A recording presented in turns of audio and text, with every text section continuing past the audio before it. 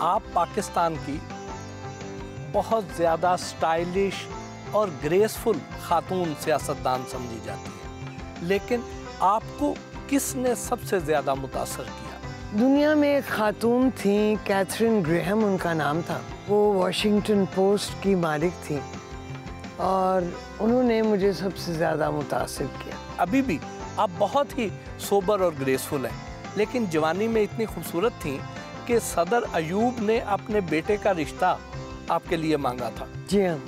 तो इनकार क्यों किया? हमारा सादात का घराना है और मेरे वालिद सादात से बाहर मेरे रिश्ते के लिए सोचने के लिए तैयार न थे। तो नूर जहाँ को आपने इनकार क्यों किया? हाँ वो हालाँकि उसका बेटा तो सैयद शौकत रिजवी का बेटा था। जी। लेकिन अम, अम, बस वो कोई हमारे जैसे लोगों में उन लोगों का कोई सेटिंग ना हो पाती। वो जब रिश्ता लेकर आई थी वो वाक्य क्या था? बस वो आई उन्होंने बात की तो मेरे वालिद ने कहा कि आप गाना सुनाओ। तो उसने कहा कि पहले आप हाँ करो फिर मैं गाना सुनाऊं। क्या इन रिश्तों को इनकार की वजह फ़खर इमाम साहब से आपकी को पसंदीदगी थी? इनकार मैं तो नहीं थी करती वो तो मेरे वालदेन का काम था। वैसे फ़खर इमाम के बारे में आ, उन्होंने भी सोच रखा था और मुझे भी वो अच्छे लगे थे। आपकी और फ़खर इमाम साहब की जो सोच है उनका मिजाज है उसमें खासा फ़र्क है। लेकिन उसके बावजूद इतनी लंबी और कामयाब ज़िंदगी का राज क्या है? जहाँ हमें पचास साल से ज़्यादा इकट्ठे हुए हो गए हैं।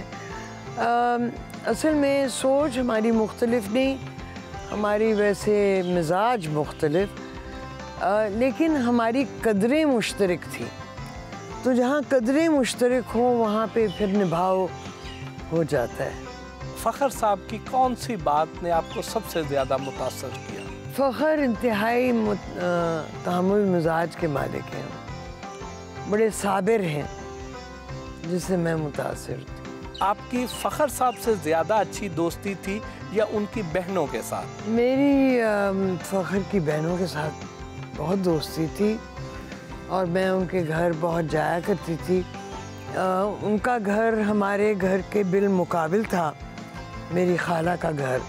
तो मेरा उनके घर बहुत आना जाना रहता था फिर फ़खर इमाम बैरून मुल्क पढ़ते थे। जब वो छुट्टियों में आते थे तो उनके साथ काफ़ी फिर उठना बैठना हो जाता था। आप शुरू से ही सियासत में खासी मुतहरक रही हैं। तो ऐसे में बच्चे इग्नोर तो होते होंगे।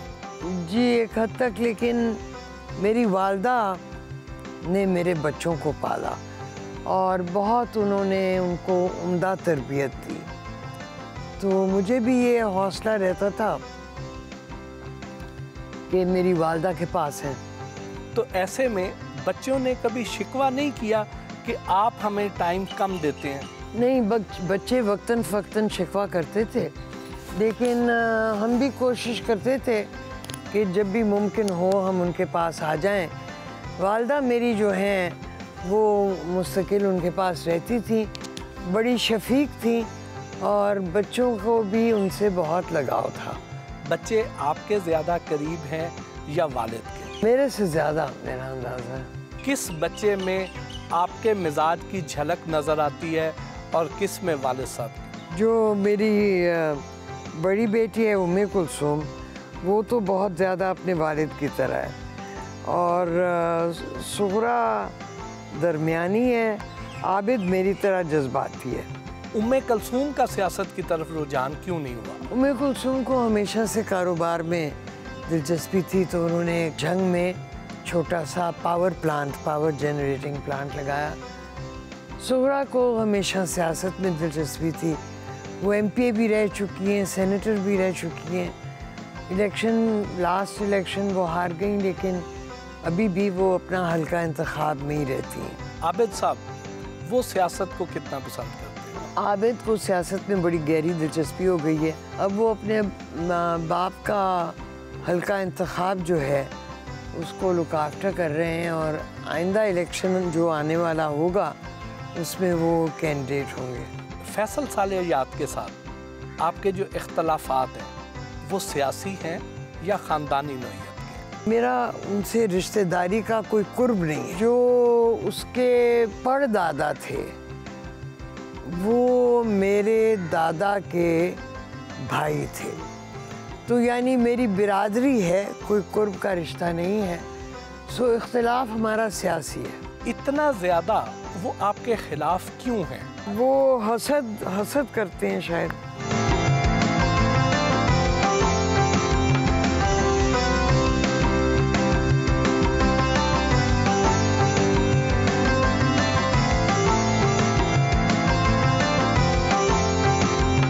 आजकल का जो दौर है आजकल की जो सियासत है इसमें सबसे ज़्यादा दबंग सियासतदान किसको समझती है? मेरे जहन में कोई एक शख्सियत तो नहीं आती शेख रशीद है या शाहिद खाकान है एहसन इकबाल है इमरान खान है। अम, ये लोग हैं नुमाया।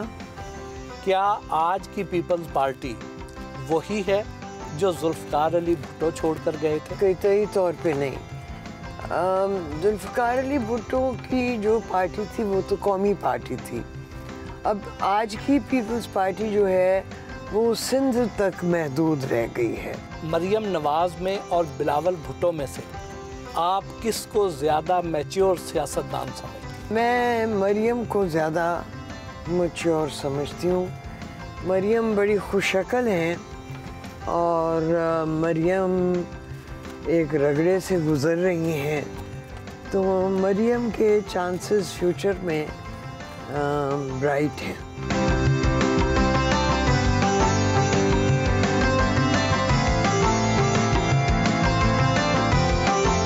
हम बेगम आबिदा हुसैन के हमरा उनके डेयरी फार्म पर भी गए, जहाँ उन्होंने हमें मुख्तफ नस्ल की गायें दिखाईं।